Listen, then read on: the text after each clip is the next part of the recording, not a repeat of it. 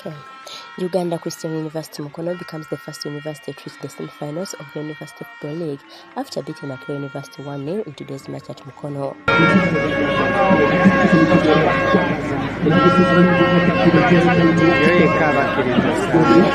Hmm?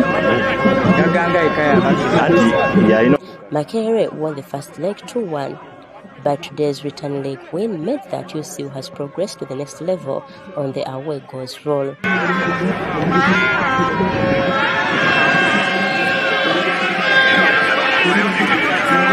With three minutes into the second half of the match, the hosts UCU managed to score, though Isaac Ofoiro after Makerere University failed to play from the back. Out into the second half, the intensity is all gone with uh, with Julie's, you know, time getting some treatment. And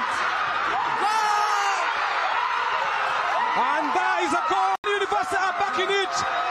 Isaac Ofoiro capitalizing on the mistake Makerere University goalkeeper with Julie Joel.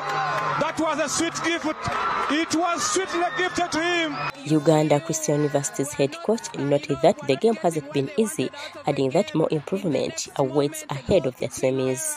and boom, just like that, you see you are in on goal, and Isaac Ofoiro slots in.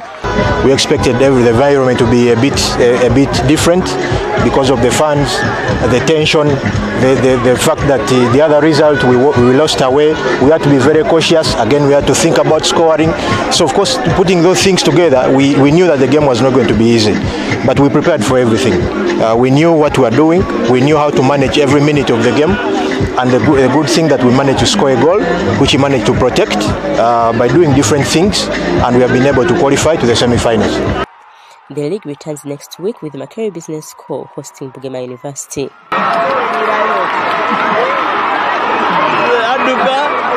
naye oh, oyo tobyetabangamu tobyetabangamu bireka